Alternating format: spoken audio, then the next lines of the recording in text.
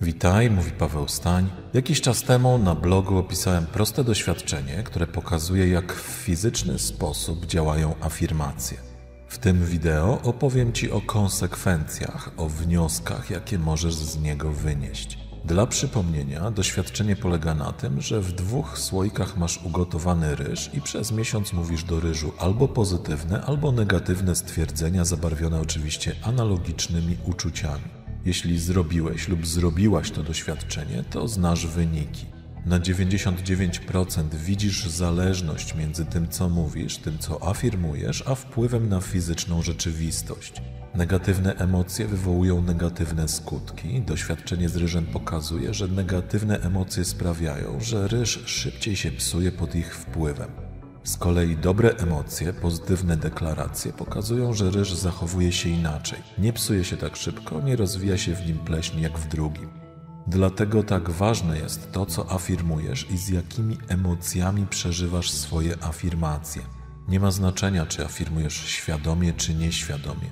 Afirmujesz wtedy, gdy coś sobie wyobrażasz, coś mówisz, gdy dodajesz do tego ładunek emocjonalny, wtedy nadajesz moc swojej afirmacji. Słowa w afirmacji są ważne, ale kiedy słowa są sprzeczne z Twoimi wyobrażeniami, wtedy zawsze zwycięża wyobrażenie. Gdy słowa pozostają bez emocji, wtedy są to puste słowa i szkoda czasu na takie działanie. Celem afirmowania jest wprowadzenie zmiany w Twojej nieświadomej, podświadomej, intuicyjnej części Ciebie.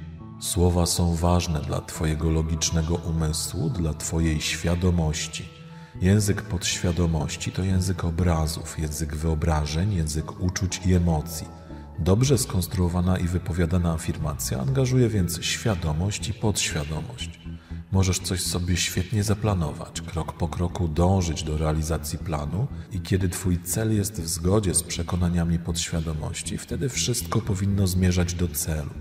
Kiedy jednak podświadomość współpracuje w ograniczonym zakresie w realizacji planu, wówczas na ogół brakuje tego elementu, który określa się czynnikiem szczęścia, przypadkiem, korzystnym zbiegiem okoliczności, tymi okolicznościami, które nam sprzyjają albo przeszkadzają, a cały proces dążenia do celu przypomina takie działanie na siłę.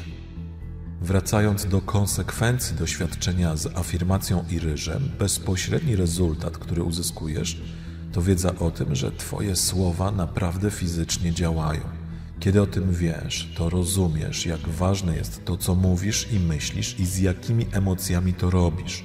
Pomyśl, kiedy nosisz w sobie negatywne uczucia, to o wiele bardziej niż na świat zewnętrzny działasz na tak, działasz na siebie. Po prostu od środka się psujesz. Kiedy mówisz innym w negatywnych emocjach, wpływasz również na innych.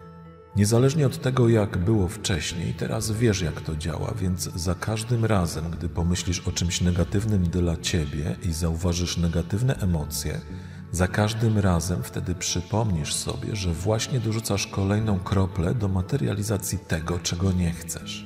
Tego, czego nie chcesz. Ale możesz zawsze powiedzieć sobie, pomyśleć, że człowiek to nie resz, nie pleśnieje, nie psuje się. Powiem ci wtedy, że no niestety człowiek w 65% składa się z wody, a woda pamięta informacje. Masaru Emoto robił już te zdjęcia. Nie znalazłem doświadczeń, które mówiłyby coś przeciwnego, tylko opinie. Co z tego wynika? Jak praktycznie wykorzystać tą wiedzę? Zrozum, że Twoje negatywne emocje wpływają na Twoje otoczenie.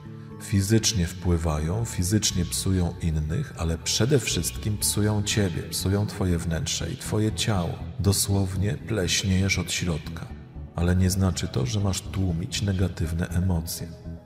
Analogicznie jest z dobrymi emocjami i uczuciami, miłością, radością.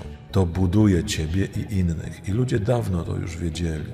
Przed posiłkiem normą była wspólna modlitwa, forma podziękowania za jedzenie albo błogosławienie jedzenia. Dziś w naszej kulturze pozostało po tym święcenie jedzenia na Wielkanoc. Jak wykorzystać to w praktyce? Tak jak nasi pradziadowie, podziękuj za posiłek, za to, że jest, że cię wzmacnia, daje siłę, buduje ciało, sprawia, że doskonale funkcjonujesz intelektualnie i psychicznie i fizycznie. Takie działanie nie ma związku z religią, to nie musi być modlitwa i każdy może to zastosować. Czyli zaprogramuj wodę, jedzenie, które jesz, na to, co chcesz. Możesz wyobrazić sobie to, czego pragniesz, zdrowie, idealną sylwetkę, pracę, pieniądze, wymarzoną miłość, wyobrazić sobie to, co chcesz i przelać ten obraz na wodę, wyobrażać sobie i czuć, jak pijesz tą wodę w tych warunkach, które afirmujesz. Pamiętam program sprzed kilkunastu, może kilkudziesięciu już lat, program Zbyszka Nowaka, Ręce, które leczą. I tam na końcu zawsze było energetyzowanie wody w butelce, tak dla zdrowia.